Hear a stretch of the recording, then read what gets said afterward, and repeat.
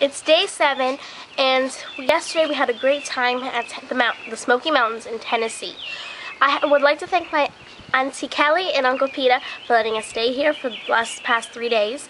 Today it's just like we're just going to travel to Washington, D.C. We have like a seven to eight hour road trip ahead of us. So, bye.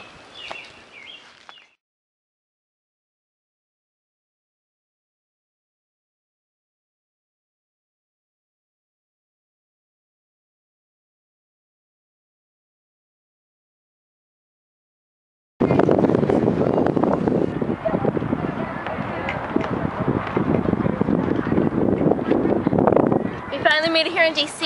It's it was a 10 hour car ride. It was a crazy traffic and parking finding parking was the hardest part.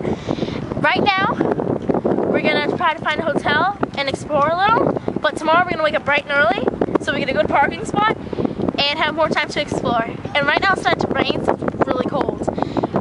Bye.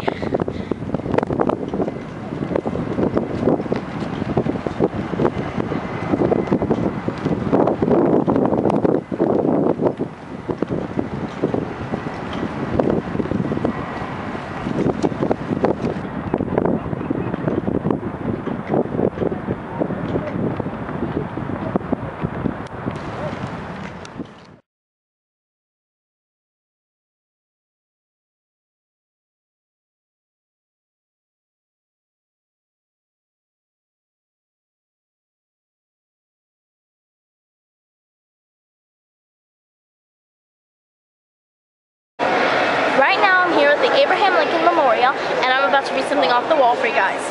In this temple, as in the hearts of the people for whom he saved the Union, the memory of Abraham Lincoln is enshrined forever.